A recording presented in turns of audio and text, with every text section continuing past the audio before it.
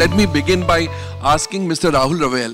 सबसे पहले तो मुझे ये बताइए आप इस इंडस्ट्री में आए कैसे क्योंकि आपके पिताजी फ़िल्म मेकर थे इसलिए आपको आना ही था एच एस रवेल साहब very celebrated filmmaker himself, like his father. Rahul Ravel is a celebrated filmmaker, but H.S. Ravel Saab was also a celebrated filmmaker. So was it a foregone conclusion? No, it wasn't, uh, Komal. Uh, Rishi Kapoor, Chintu, was a childhood friend. We were in the uh, nursery together. Acha. and uh, we grew up together. And I'd finished my exams, and he called me and said, "Papa is starting shooting the Russian circus portion in Bombay today, and your exams are over, so come, let's go there." For Mera Naam Joker. Miram Joker, and there are the Russian girls are there, all wearing short clothes, you know, and with great legs. So let's go and look around at these girls. so, of course, we rushed. This was a big attraction.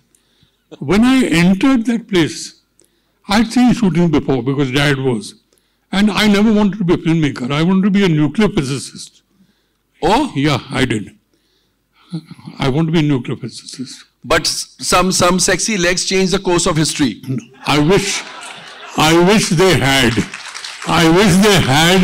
I would have been sitting here with sexy legs all around, which are still there, you know. But so when I entered the set and I saw Mr. Raj Kapoor working, I was completely mesmerized. There was one man in the circus in the big top controlling 5,000 people. And he was like a symphony director, you know, symphony Wow. conductor, one man standing and conducting this whole thing, and he knew exactly what he wanted. I stood there, watched him. I went a second day, I watched him. Uh, then I told my father, I said, Look, I've got six months before I go to Canada for my nuclear physics. So I might as well work as an assistant, you know, instead of wasting my time. And um, when I met Raj my father took me there. Raj said that I'll be very happy to work because I've been seeing you here for the last four days. You've not spoken to me, but I've been seeing the dedication. He didn't know that he didn't speak to him because he was interested in. In thank you, Komal. Thank you so much. you made such a lovely impression on these people. They probably feel there's some. A joke here and there never harmed anybody. probably Am I right? There's some, there's some fiend over here who's you know lurking around. and um, he told me most welcome to start working, and after six months you can go to Canada. But remember one thing: you will not go. He said that He to said you, That, yeah. and he knew that you wanted to be a nuclear physicist. Yes. Wow. He said, because this is such a thing. And um, once you get hooked to it, nobody goes back. So, are you prepared for that? So, I said, sir, I will go back. He said, fine, we'll talk later. And um, I never went back. I stayed here. Uh, I've forgotten what physics was all about. And um, uh, I'm glad I stayed here. It changed So are we, because we got a great filmmaker in Rahul Rawail, and uh, thank God for the Russian circus artist. So what if you didn't have a look at their legs, but you stayed back? And I also admire Raj Kapoor Sahab's foresight that he said that you will not go back, and you actually thought you would go back. Yes, So I thought I would. it took you six months to realize that this is your calling, or No, early on you had It decided. took me exactly three weeks to decide I'm going to stay back here. So I never went back after that. Phenomenal. That's how it started. Phenomenal. Uh, Mr. Paban Kumar, you have a similar exciting story about sexy legs.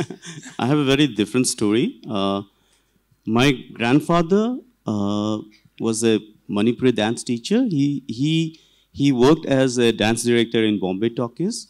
And also, you know, my family has a art uh, history. The legendary theater person, uh, Ratan Thiam, is my maternal uncle. Uh, but it was by by accident that I, I, I chose filmmaking as a career. Uh, it was in my final year of BSc Computer Science that I decided. oh, to do you have done BSc in computer science. Yeah. Okay. So I decided to do something different. But also, I think that was, uh, I think those days it was the situation, uh, you know, uh, outside Manipur. I suddenly realized that people doesn't know much about Manipur, and I, you know, I maybe cinema is the easiest medium to get in touch or tell stories about Manipur. That's how I started uh, my career in filmmaking. You know, you said you're a computer science graduate. From science to a field of art, was that a paradigm shift and was that very difficult for you?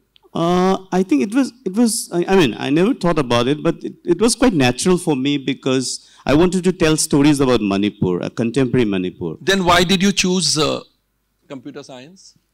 Uh, those days, MC and MBA was quite popular, you know, it was, I'm talking about 93, 96. Compulsions, but all along you knew that you had to be in this industry.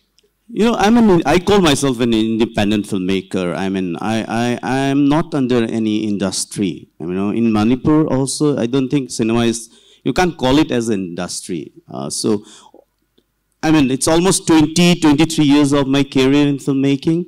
And it, it as I have done mostly independent work. I do whatever I feel uh, like, and I make films the way I want to make films. So I very much call myself an independent filmmaker. And even now also, uh, I, I try to do something different from whatever is happening around me, you know. In such a scenario, was it intimidating, frightening for you to make a mark, or was it actually what you would have desired? There are no compulsions, there are no industry rules, so let me do what I want. My, my, the, the world is my canvas. I've been, you know, discussing about this with my friends, and I feel lucky that I'm, I, I'm born and brought up in Manipur, and I still, you know, after doing my uh, graduation from SRFTI Kolkata, I did my postgraduate in cinema from Satyajit Ray Film and Television Institute, Kolkata, uh, in film uh, direction and screenplay writing. I think in, uh, so I was the only person who went back uh, and you know all my friends are working in Bombay, Hyderabad, and Kochi, and uh, so at that time I think I was the only person who went back and wanted to uh, make films in my own language.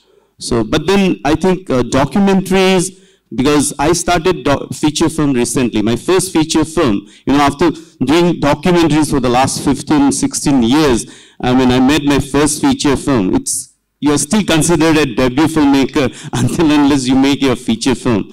So I did my first feature film in 2016, which was premiered at uh, Berlin and Busan. Uh, it was self-funded, uh, along with my friends from the film school. It, it, was a zero budget film. We all got together and made the film. I still do that. But uh, luckily for my third feature film, this uh, Joseph's Son, I got funding from NFDC. Uh, it recently had its world premiere at the main competition at Shanghai International Film Festival in June this year. Uh, that's how I've been making films. It's always a struggle. okay. Rahul ji, मैं आपसे जानना चाहूंगा you have been a hardcore commercial filmmaker, you know. तो commercial filmmaking में how much is art and how much of commerce is there? Because finally it's an art form, but you have to make films. It costs money. You have to recover the money, you have to make profits. If you are the producer for yourself, if you are not the producer for your producer. So how much is art, how much is commerce, and how do you strike a balance? Um, Komal, striking the balance is uh, a million dollar question.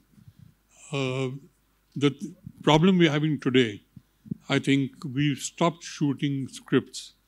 We are shooting numbers. That is the biggest problem. You know, uh, is that one important changing landscape of cinema? yeah, it's a terrible landscape of cinema where we're shooting numbers instead of uh, shooting scripts. Very rightly said. And um, earlier also when I started making films, uh, I made a film called Arjun, which at that time turned out to be a game changer. Correct. You know, suddenly Very people right. felt, you know, why can't a commercial film be an artistic film, also? Film also? There was no intention to do that. You know, I just made it because I felt this was the right way to tell the story. And even now, when I see films, I do find a lot of films which are shifting over. You know, like um, a favorite film of mine, which uh, recently has been Monica, Oh My Darling. I think it was brilliant. That director did a brilliant job. But at the same time, I see a lot of trash. So we are stuck in this rut which will, I think, carry on till we don't stop shooting numbers. His films have got a heart in them. you know, you've got to have a heart when you make a film. Uh, I'm sure Paban will agree with that. It's not just uh, numbers. And um, one more uh, strange, little away from this, which I'm finding is that uh, Paban is from the, the computer engineering. I was a nuclear, Nuclear physicist. Money was also. Uh, why are so many people from the sciences coming towards making films? So that's. Uh, Have you found an answer? no, I haven't. I even find from a lot of actors now saying that I was a engineer. And uh, you spoke about the changing landscape. We are definitely in for a change. But uh, cinema will always stay. And uh, so will OTT. Pabanji, you know, like he said, you've got to have passion to make films. Money, etc., is all fine, but without passion, you can't make good cinema. Do you think in today's times, passion is somewhere going out of the window and it's all about money and monetization? I do believe uh, that you know that the commercial thing. I, I I think that's you know all these years of documentary filmmaking. It was always supported by someone or the other. You know, when when I venture into feature film, what I realize is, I mean, you need to get back your money to make your next film.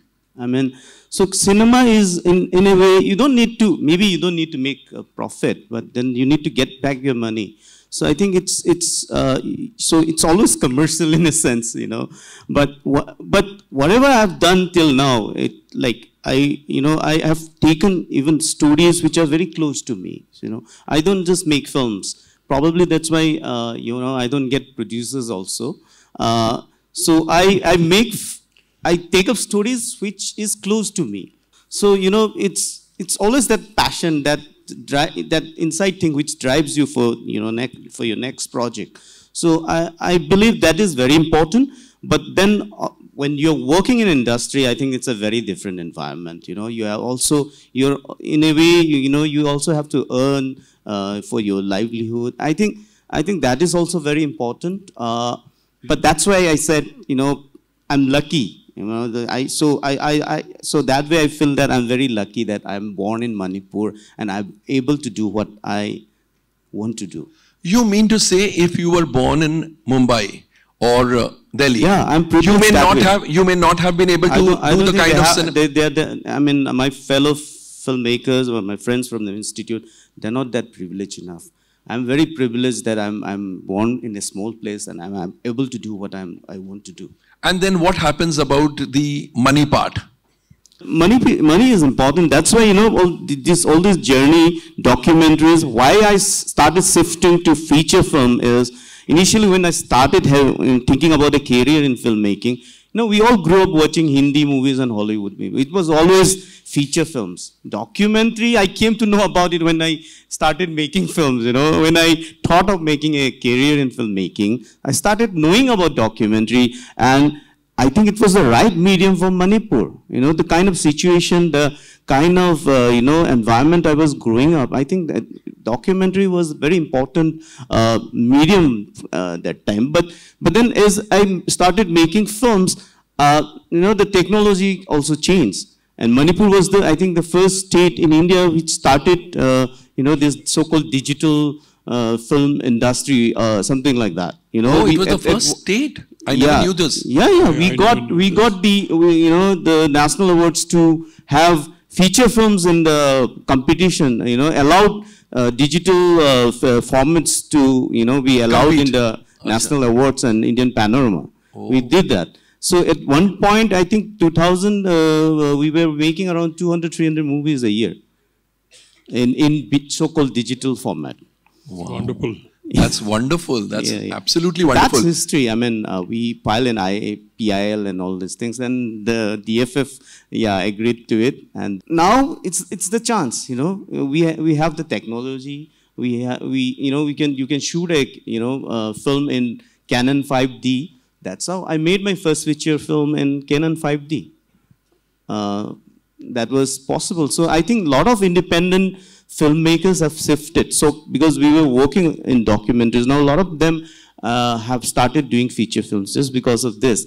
And also for the money part, because after making your, at least feature film has an audience. You know, you, you, your audience becomes bigger and chances of getting your money back is higher. I, so you can really see a sift of, uh, you know, uh, independent uh, feature films. That's why I think you, you're able to see different kind of, uh, you know, cinema in India. Yeah. Rahul ji, one, the economics of uh, documentaries and vis-a-vis -vis the economics of feature films, they are very, very different. Um, how is it that not many people bend towards documentary making?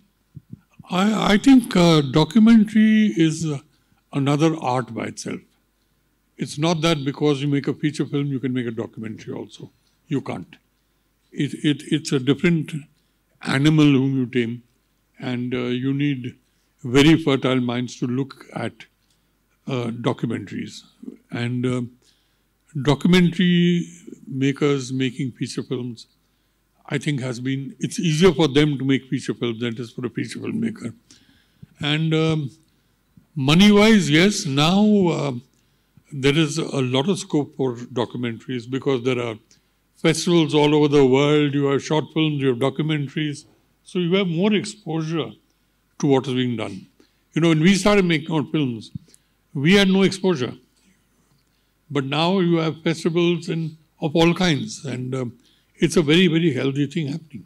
Is getting funding for documentaries still difficult? Yes, I think it's really difficult, especially at this time. Mm -hmm. I mean, earlier when I started my career, Doordarshan used to give some money to make uh, so-called, people might not call it documentary or television programs, but we used to make films with that money. So that is gone. And uh, now, I mean, a, a, films division and NFDC, they have merged. So I, I think the government needs to do a lot in this uh, thing because uh, I think right now, if I look at India, I think uh, as far as my knowledge goes, PSBT doesn't uh, I mean, provide any funding now. So only NFDC is giving some money for documentaries. And so it's, it's really sad. I mean, uh, there's nothing for documentary in this country. And unfortunately, unlike the rest of the world, like, I mean, uh, talking about Europe, we, we, we also don't screen documentaries in theaters. We don't have a culture of watching documentaries yes, at theaters. And uh, when OTT started in this country, uh, we were hoping, forget about documentaries. They don't, you know, you know what kind of, uh, uh, you know, content is there in OTT now. Forget about independent cinema. They're not bothered about documentaries. There's not, I mean, it was when, when, when, when uh, thousands of channels were there, there was not a single channel in India dedicated to documentaries. OTT, they started with a big, you know, uh, announcement that they, they will support independent cinema. But look at the, the condition right now in OTT. Because uh, finally it all comes down to business.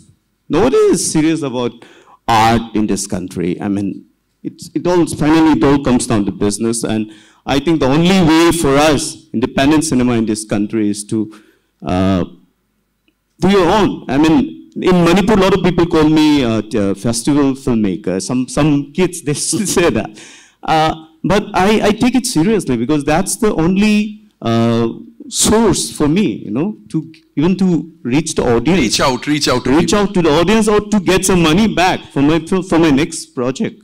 But what I would like to know is, uh, because a lot of filmmakers are making content for OTT and because films are uh, streaming on OTT platforms, the whole kind of cinema that is being made is slowly but surely changing. Since documentaries are untouched by the OTT platforms, has this kind of a change come in the kind of documentaries being made or that is the same over the last, say, about five years or seven years? See, what documentaries are changing definitely. The way documentaries are being made are ch changing definitely in this country. In what sense, if you could elaborate a little? Changing in the sense, it's not because of the OTT platforms in India, it's because of the funding coming from outside, tele outside the country. If you look at the latest documentaries which went to Oscars and all, they, it was all supported by outside, uh, you know, uh, funding from Europe and America and all these countries. It was never supported from India. I mean, one thing that has changed documentary in this country, as I my knowledge goes, is Docedge in Kolkata. Docedge is a platform, Asian uh, pitching forum in Kolkata, which has changed uh, documentary, the way documentaries are made, or documentary fundings are, you know, uh, we, we get funding, how, how to pitch in front of people. This is what has changed documentaries in this country. Same, same thing applies for NFDC Film Bazaar, which is for feature films. I think these are the only two platforms in India where we can go and you know uh, pitch your pitch your project, and we hope some some you know some person will come there and and and pick up our films or maybe interested in our project. You know, if you look at the last 10, 15 years, I think it's only because of Film Bazaar and FDC that we can see different kind of films coming out of this country. And it's also because of Docedge in Kolkata that we are seeing different kind of documentaries in this country. You know, Rahulji, we are talking about the changing landscape of cinema.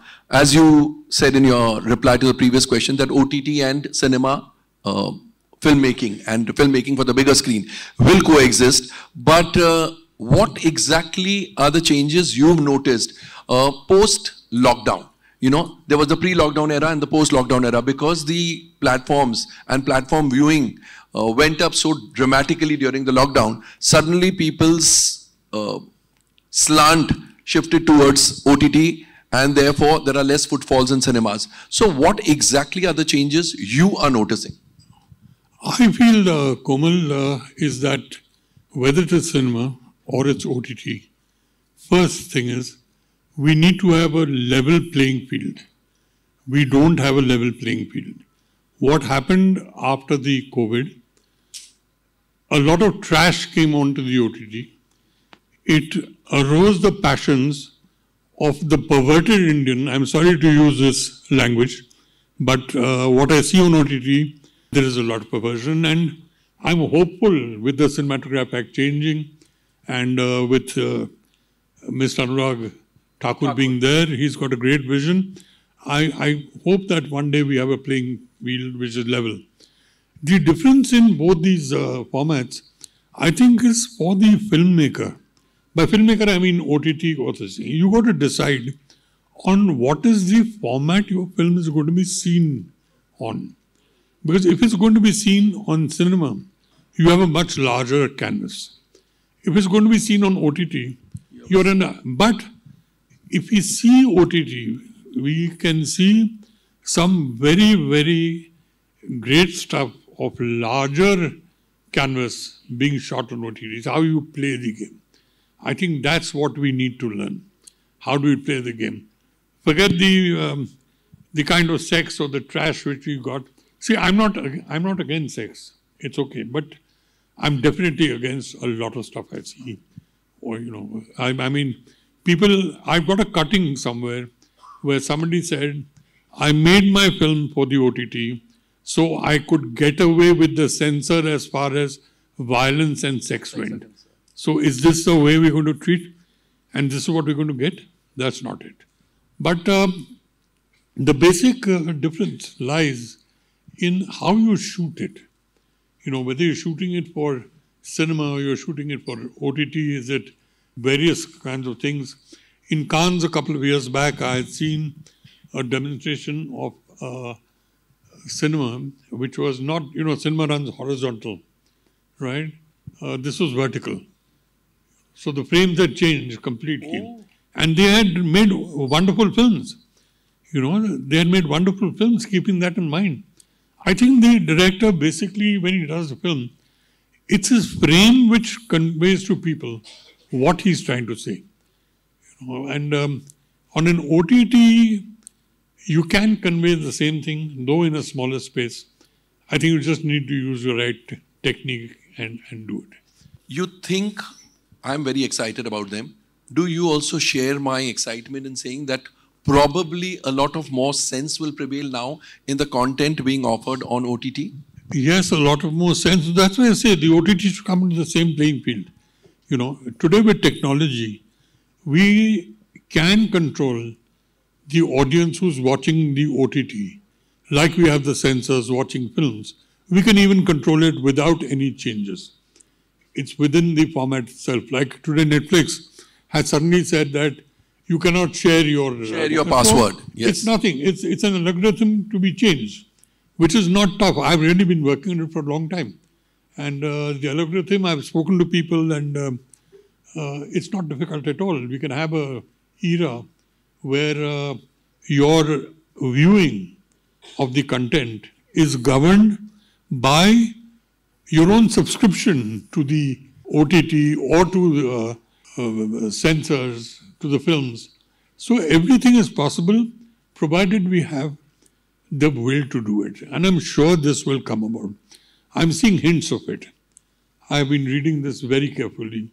I'm very happy, firstly, that they've changed the Change. Yes. Just one more uh, question to each of you. Uh, there must be aspiring filmmakers or at least aspiring uh, industry people. You know, they aspire to be part of the film industry. So, what would your advice to them be, and what would your advice to aspiring filmmakers be? Let's begin with Mr. Paban Kumar.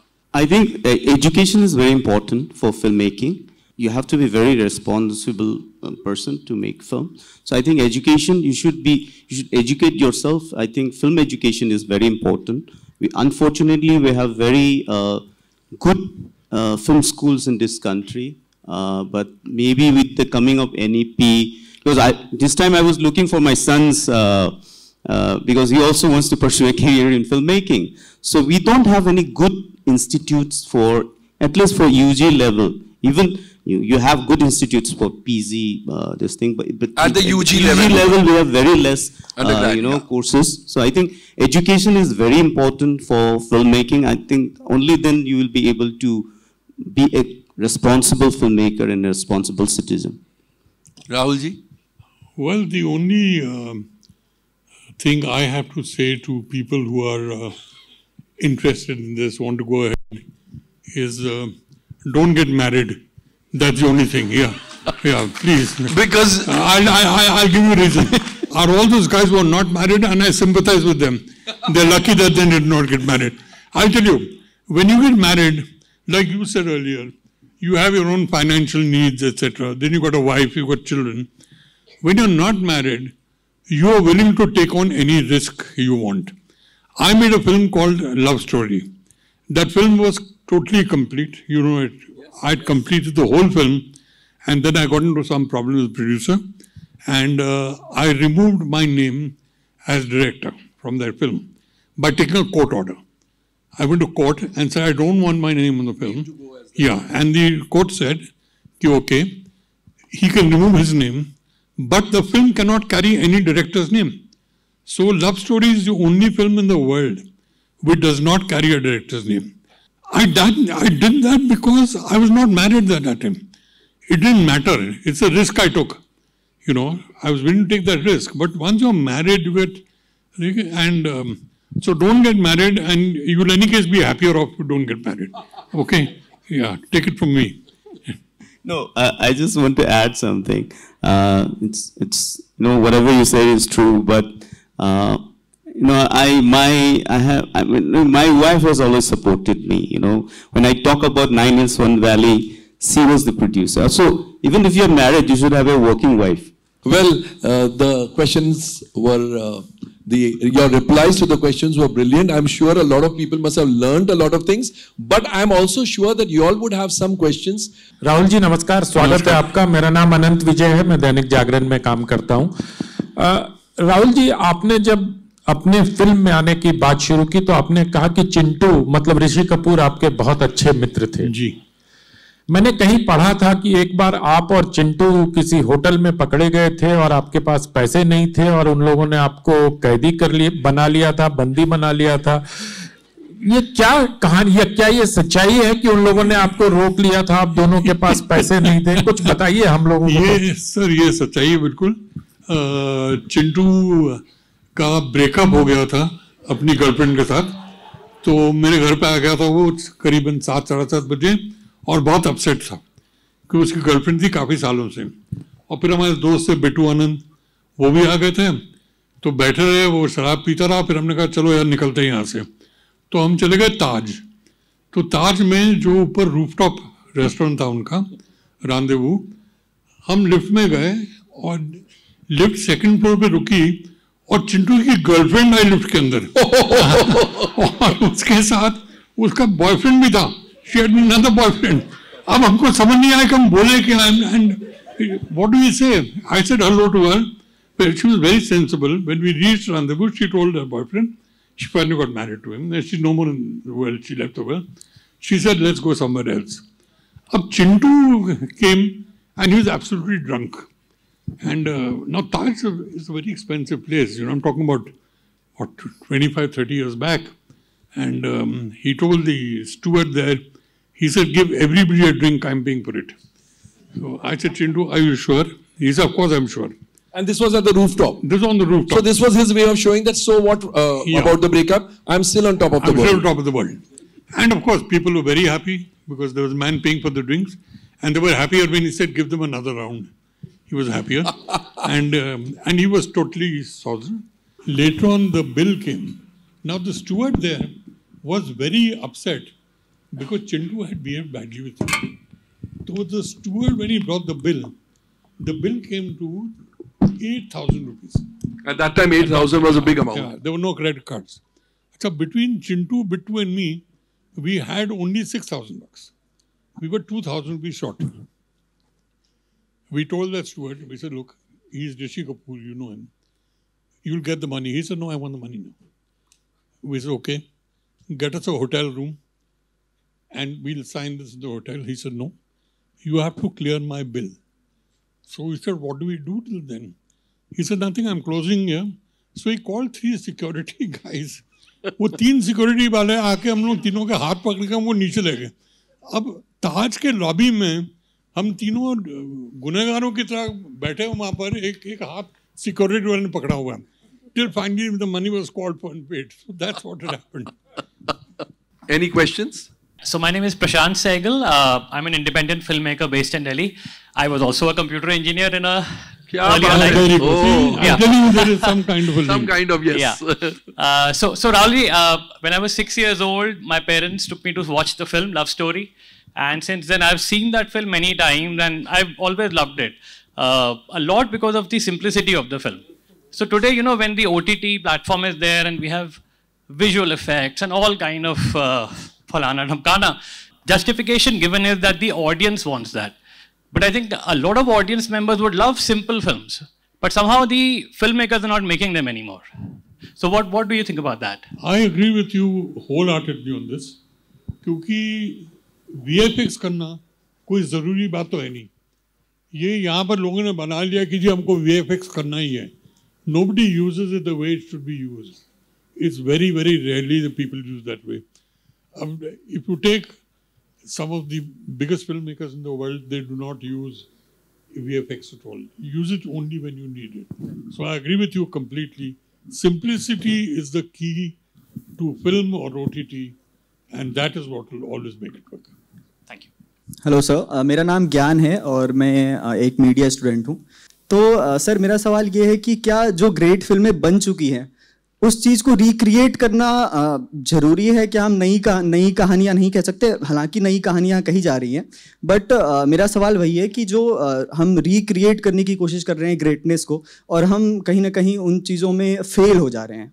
जो great film बनी हुई हैं मेरे हिसाब से उनको हाथ नहीं लगानी चाहिए। वो they been made great you cannot make a greater film than a great film. And you should not even attempt to do that. People do it here, everybody feels I'm going to make a greater film than the other, but nobody can. Because wo film jab bhi bani thi jo great film hai usme sabke minds kaam kiye the ek alag ek ये था experience and मेरे ख्याल से great film बन जाती आप calculate करके नहीं, नहीं बना सकते नहीं बना सकते Hello, sir. Myself Shreyasi. I'm a media student, and my question is to Rahul, sir. Sir, as you have mentioned that in the film Love Story, you have uh, went to court and asked them to remove your name from the post of director or producer. But sir, you are claiming that you have made that film at this particular platform. So is it a right thing? it's a known thing that he has made the film he actually went to court otherwise why will the court give him uh, uh, the prayer that he's asking for. He said, I have directed the film. The producer did not deny that. But he said, मेरा नाम इस film से हटा दिया जाए. So, he So, sir, is it wise as a filmmaker? It's a decision was very wise. I think people should follow that even today. You see, what happens is directors जब picture नहीं चलती है वो बहुत conveniently बोलते हैं कि जी मेरी फ़िल्म नहीं चली क्योंकि एक्टर ने ये किया था प्रोड्यूसर ने ये किया था अगर किया था तो तुमने फ़िल्म छोड़ी क्यों नहीं उस टाइम पे तुम छोड़ देते। वो नहीं करते लोग। He had the courage he had the courage this is something of courage have courage to make films hello sir मेरा नाम समर्थ है और मैं बीजेएमसी सेकेंड ईयर का छात्र हूँ। सर मेरा क्वेश्चन आपसे यह है। आपने जैसे भी कहा था कि सिंप्लिसिटी इज़ द की तो सर, जैसे आज के टाइम ओ टी टी के प्लेटफॉर्म पे लोग वायलेंटिक कंटेंट को ज़्यादा इंपॉर्टेंस देते हैं, ना कि सिंप्लिसिटी को। तो सर, हमें ऐसे ही स्टार्टिंग एज अ बिगिनर कौन सी ऐसी बातों का ध्यान रखना चाहिए, ताकि हम उनसे ज़्यादा मोर इंटरेस्टिंग कंटेंट बना सकें एज अ सिंपल देखिए, ऐसा कोई रूल है नहीं कि आपको इस चीज़ का ध्यान रखना चाहिए।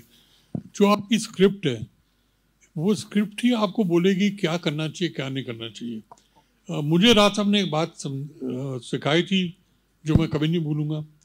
बोले, बेटा, जब भी तुम एक सिचुएशन में आओगे, जब तुम्हें डिसाइड करना है कि ये करना है, वो करना है, जो तुम्हारा दिल कहे, वो करना। तुम्हारा दिल कभी गलत नहीं होगा। तो ये बोलना कि भाई वायलेंस होगा या ये होगा, वो वो नहीं।